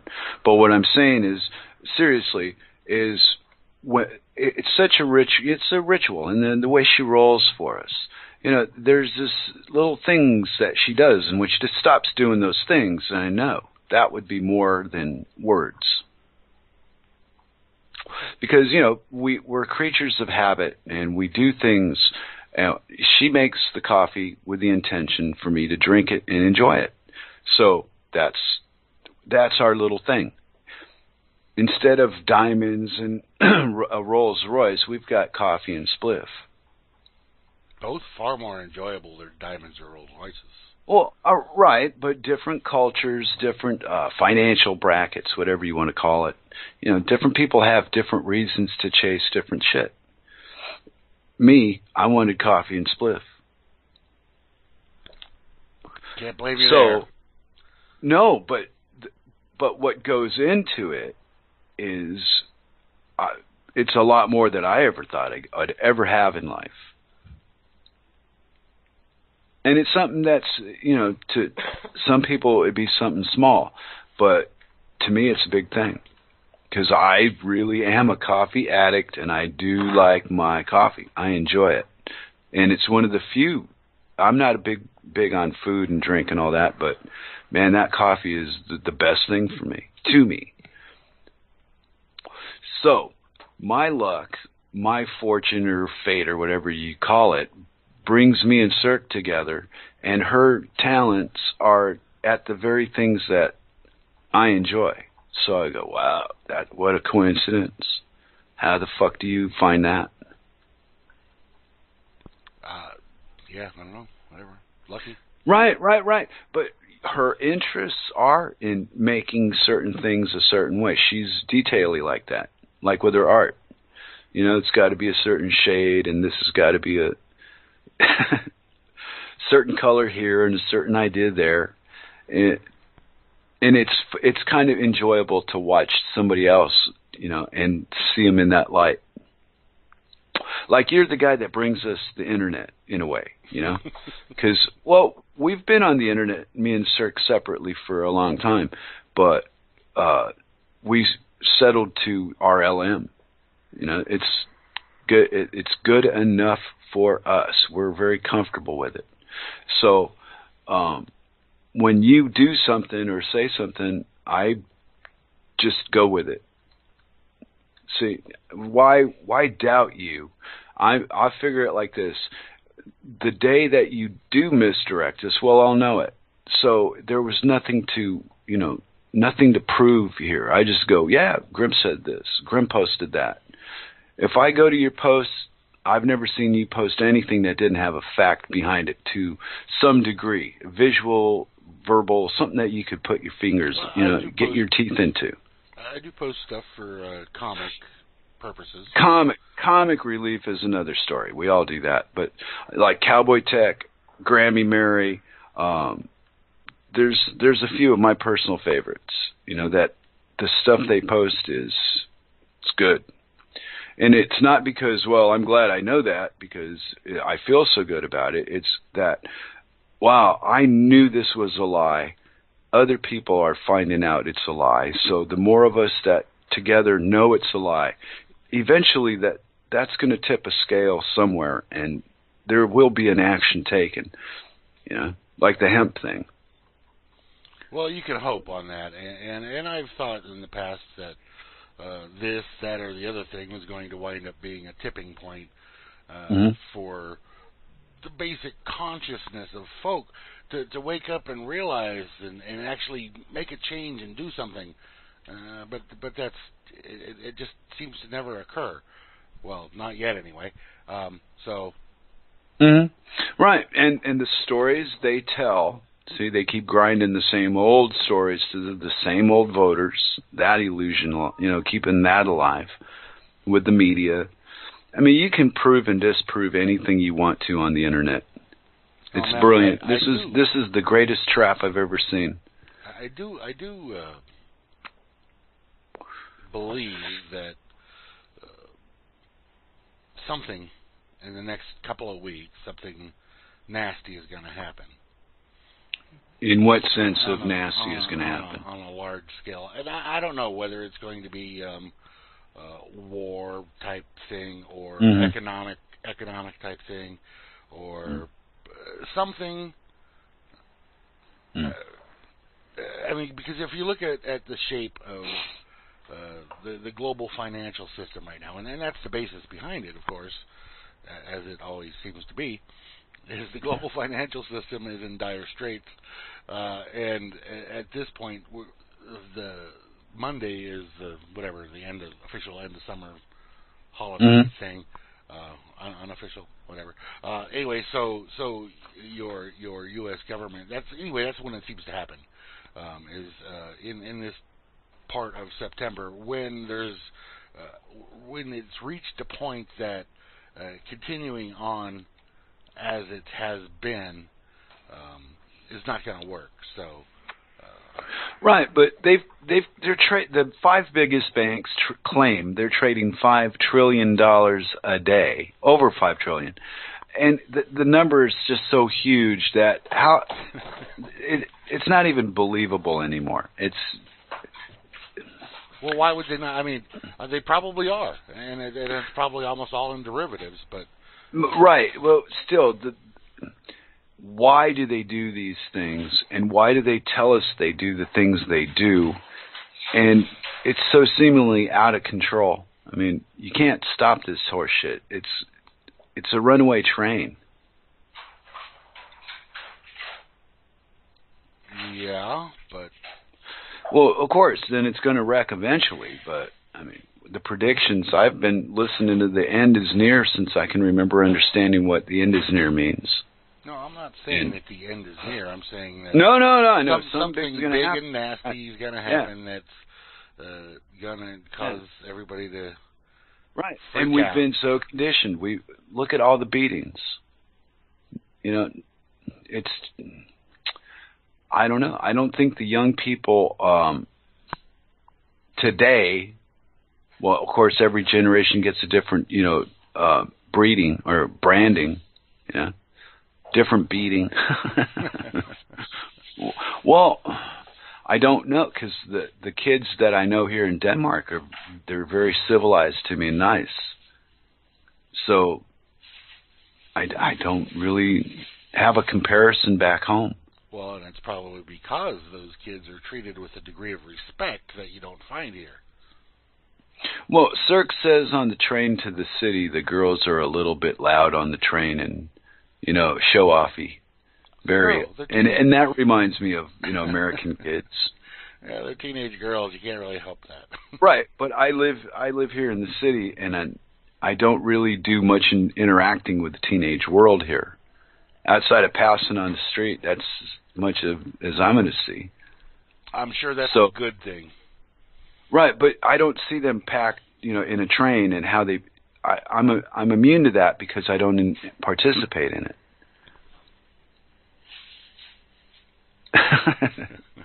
so the same girls that act one way in front of a circle when they encounter me at the grocery or on the way to it or whatever I'm doing around town, they're not going to behave that way in front of me. Well, they, It's I'm not sure gonna they, happen. I'm, I'm sure they would if they were traveling in packs. Yeah, but they right, but they don't. When in town, two or three at the most. It's different. But on the train, there's like twelve of them or something. Right. So that, that, that's you know. Right. Exact. And it's so I'm. It's such a uh, a weird thing for me to be this isolated, but I'm I'm really enjoying it. So the thing, and I get to just ask her, well, what happened today, instead of actually having to go out and do it. So you never take the train anywhere. No, I'm done. I really, I don't. She wanted me to go to, to Hellrod, go do a few things, and I, nah, I, I don't really want to bother. I spent, I, I spent years hitchhiking Wait, back and forth across are, the are, are these are these things that needed to be done? Everything in my life must have been needed to be done. I don't know why I did most of the stuff, but I just did it. So if she says you, we, I want you to go here to do these things, then Oh, her? Uh, oh, those things. No, it was for me, and I didn't really find it necessary to do it. oh, all right. No, no, no. If it had been for her, I would have done it. But no, it's something she wanted me to do for me, and I didn't want to. But there was a time where, hey, man, we're taking a train. Uh, let's go. Hey, man, we're driving. Let's go. Didn't matter where it was to or who it was with. Sometimes I just go. And you know, and every event led into the next event that brought me to where I'm at. But the mindset all along has always been, oh, shit, I wonder what's going to happen this time. And that seems to have been capped. That's what I'm getting at is I don't have that curiosity anymore about, whoa, where could life take me? This is good. Yeah, no, I've I've seen and done all I need to do at this. point Yeah, time. right. You're home, you know, in uh, N- New Mexico. I, I, You know, it's not that I've seen and done everything, and there's not maybe other stuff that might be maybe nice to do, but it's like, meh. yeah, exactly. You know, yeah. Why bother? But yeah, I could It's- go see that, but eh. Exa- yeah. And then we got Cirque, who's very, you know, she's very comfortable with her country. You know, she's Danish. She likes being Danish. She doesn't like the politics here, but you know, as far as the rest of it goes, Does, Uh, does she like does she like the politics anywhere? no, my wife is not a happy girl when it comes to we. Yeah, well, Wow. There we go. There we go. Yeah, no, she's Well, she's a smart her- girl. She's just definitely a smart woman there. Right, but she's very capable of uh, acclimating in the game. She acclimates. But I don't believe that it's anything more than, you know, part of the job that she's doing. It's not her. You're right, Beth. That's the uh, that's the uh, rumor that all Canadians are real polite. Not in uh Montreal they weren't. Okay. Well, it's it's the rumor. It's the it's the the what do we call it? The uh, stereotype. Well, this Yeah. is like 20 years ago. I was in Montreal for a little period of time. I didn't find it very friendly. yeah. Uh, Yeah, social. See, socialist, capitalist. It's all a bunch of bullshit to me. I don't know. You can be whichever one you want. You still trade with little plastic cards and bow to some fucking idiot in a suit in an office or a queen in a fucking throne. It's all the same bullshit to me. I, I, they're just people. I don't give a fuck. Let me see your papers.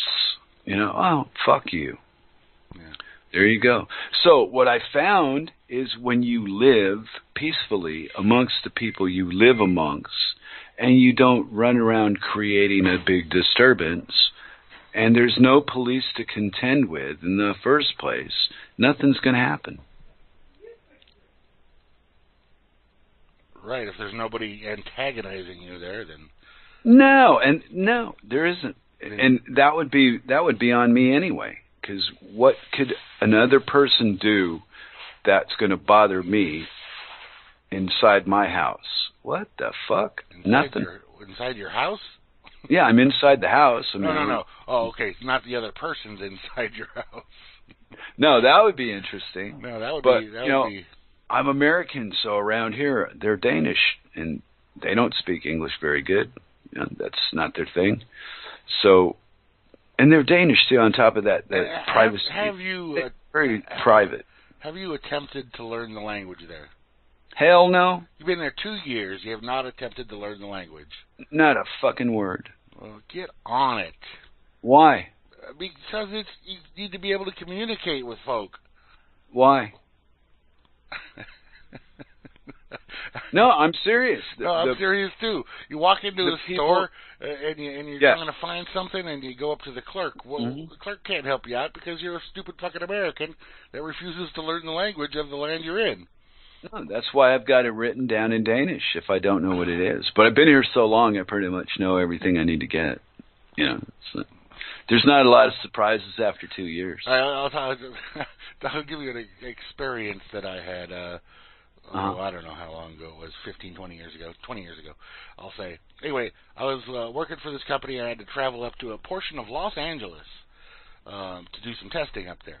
And so during lunch, I go drive down to the local, um, I don't know, El Pollo Loco, whatever the one of some stupid fast food restaurant, and I, I order a chicken sandwich, and um, so I so I'm trying to ask the counter guy, can I have some mustard to, to put on that? And none of them, none, nobody working in the place spoke English. Not a single fucking person there spoke English. And, and he and he starts freaking out like I, he thought I was saying mouse turd instead of mustard.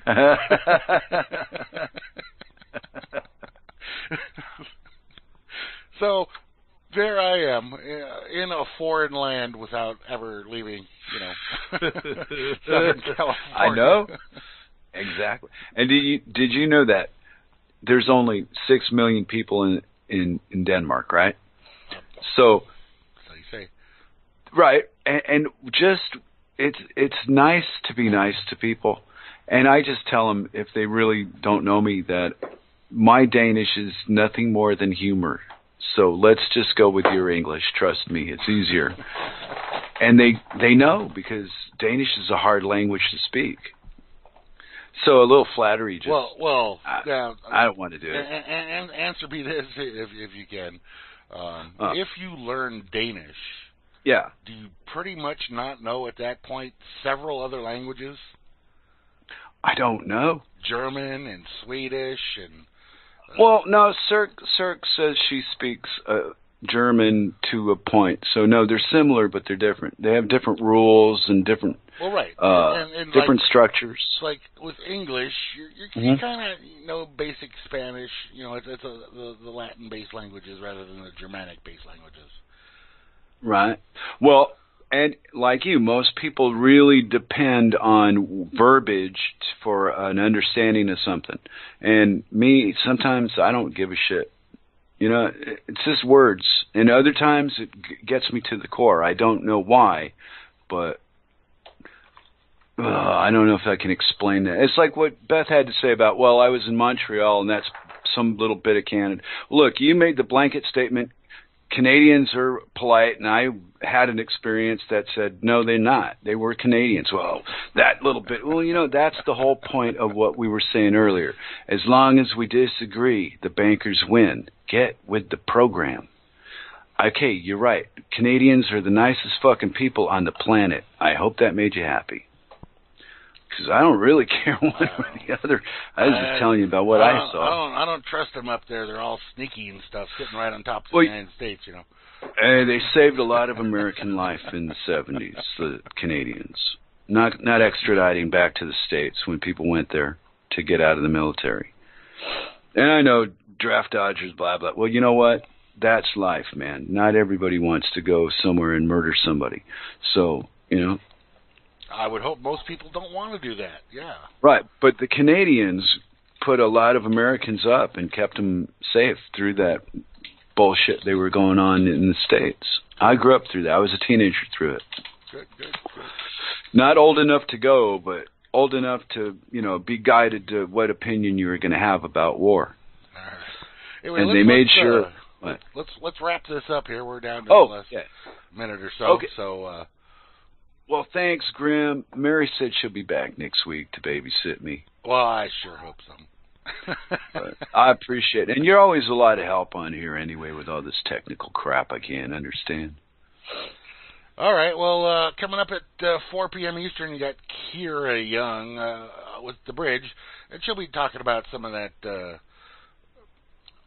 pipeline stuff up there going on with, with the natives up there, trying to protect their land and water from the interlopers that want to destroy everything. And then tomorrow morning I'll be on uh, at well at noon Eastern with the blues for you, uh, leading on into Hal Anthony, opening up his big old can of whoop ass.